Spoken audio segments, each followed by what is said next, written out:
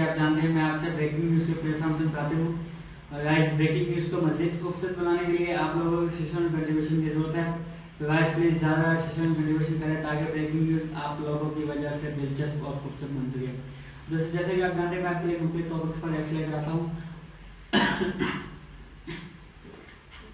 आज मैंने अपने दोस्तों के लिए ज़बरदस्त वीडियो सेलेक्ट किया है, उम्मीद है कि मेरे दोस्तों को काफ़ी अच्छी लगेगी। गाइस आज मैं जिस वीडियो पर एक्शन जा रहा हूँ इसका टाइटल है इंडिया वर्सेस पाकिस्तान 2017 की ये वीडियो है आई थिंक तो ये कंपैरिजन वीडियो है उम्मीद है कि मेरे दोस्तों को बड़ी पसंद आएगी वीडियो स्टार्ट करने से पहले आप प्लीज़ मेरे चैनल को लाइक करें शेयर करें सब्सक्राइब करें and the bell icon never miss a update now let's see the video 3 2 1 start Two of the largest militaries in the world in terms of personnel are India and Pakistan, with both militaries having experienced rapid modernization in recent times. The two countries are located on the Indian subcontinent, separated by an international border that winds through the enchanting Himalayan mountains, cuts through arid deserts, urban centers, and stretches on to the coast where it meets the Indian Ocean. This divide is heavily guarded and notoriously dangerous.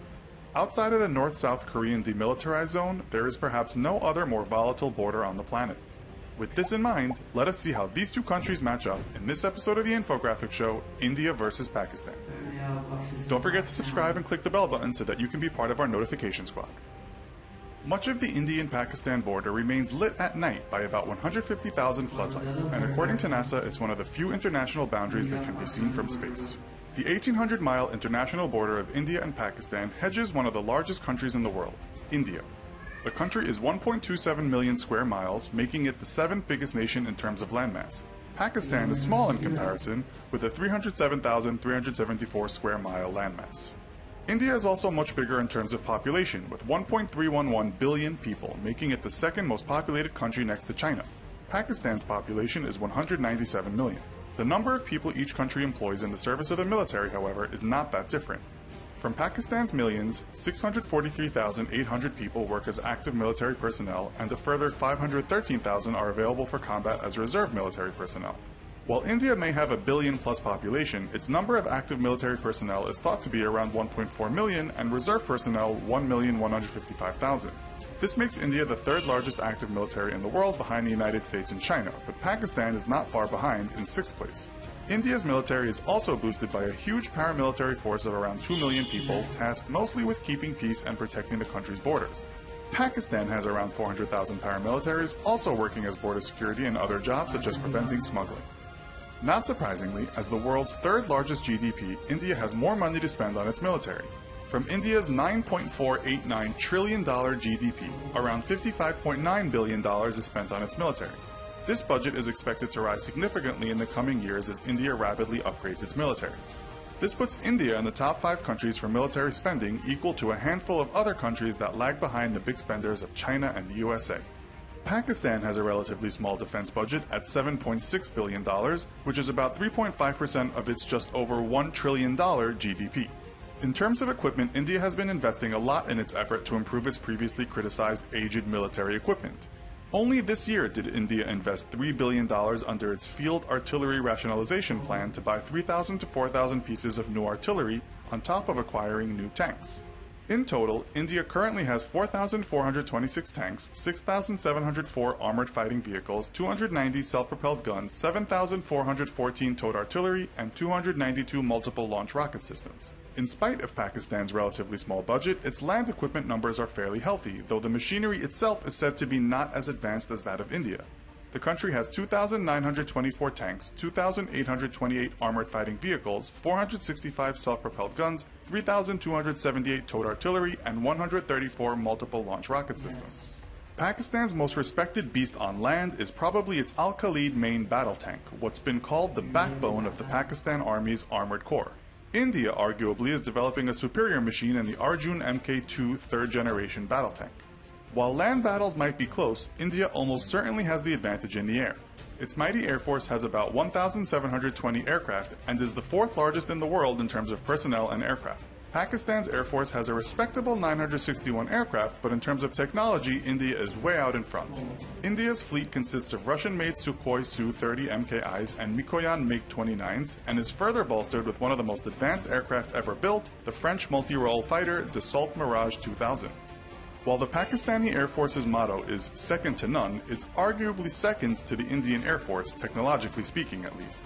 Its pilots are highly respected. The Pakistani current fleet consists of 76 F 16 Fighting Falcons, 88 VPAC JF 17 Thunders, and some older models of the French Dassault Mirage. While these aircraft are still in use, they cannot be said to be anywhere near as advanced as some of the world's most modern aerial military technology. Pakistan is said to have the upper hand in one area, though, and that's its attack helicopters. The country has 51 AH 1S Cobra attack helicopters, while 15 AH 1Z Vipers have been ordered. India is somewhat light regarding these machines, although just recently the country's Ministry of Defense approved the acquisition of 39 new attack helicopters. In the water, India is considered as having one of the most powerful navies in the world, and Pakistan could make no such claim. However, Pakistan is in the process of investing millions of dollars in modernizing its navy fleet while decommissioning ships that are somewhat out of date. The Indian Navy is also in the process of acquiring ships better suited to the possibility of future naval warfare. As of this year, the Indian Navy has an estimated 67,109 personnel, more than Pakistan's estimated 30 plus thousand personnel. In terms of equipment, the Indian Navy has one aircraft carrier, zero cruisers, 11 destroyers, 14 frigates, 15 submarines, 23 corvettes, zero amphibious assault ships, 7 mine warfare ships, and 72 patrol ships. The Pakistani Navy has zero aircraft carriers, one cruiser, zero destroyers, 10 frigates, 8 submarines, zero corvettes, zero amphibious assault ships, 3 mine warfare ships, and 17 patrol ships. Both India and Pakistan make up the nine countries with nuclear weapons, although the two countries have a small arsenal of these weapons compared to the USA and Russia, who own the vast majority of the world's most powerful bombs. It's said that Pakistan may have just a few more nuclear weapons than India, owning around 110 to 130 to India's 110 to 120. The Federation of American Scientists state that both countries' nuclear weapons are non operational, meaning they are retired or waiting for dismantlement. Interestingly, the last time India and Pakistan conducted a test of nuclear weapons was the same year, 1998. One big threat to India, however, that has been a topic of discussion over the last few years is Pakistan's fast growing stockpile of tactical nuclear weapons, or TNWs. Pakistan has been developing its Hatif 9 missile, which is equipped with a nuclear warhead. India has so far declined to develop its own TNWs, but it's unclear exactly what India's nuclear stockpile consists of. While India has a no strike first policy, it does have a massive retaliation policy if it should ever be attacked. In the event of a conflict, it's difficult to say who India and Pakistan's allies would be. This would depend on who launched the offensive and why. China and the US are the biggest arms suppliers to Pakistan, respectively, while Russia and the US are the biggest suppliers of arms to India, respectively. This, however, does not necessarily reflect an alliance in times of conflict. So, who do you think has a stronger military, India or Pakistan? Let us know why in the comments, and be sure to check out India versus the United States. Thanks for watching, and as always, don't forget to like, share, and subscribe. See you next time.